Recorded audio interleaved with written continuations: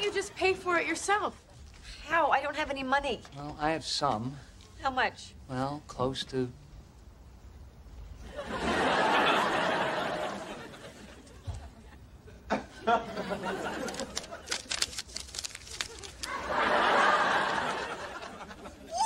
Are you kidding me? Well, what? How, how much is it? It's enough for wedding scenario A.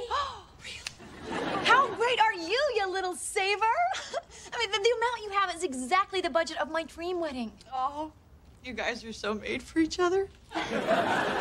Well, you're not suggesting that we spend all of the money on the wedding. Uh, yeah.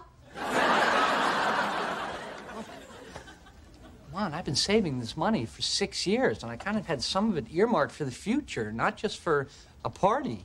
Wow. Hello, Mr. Chandler.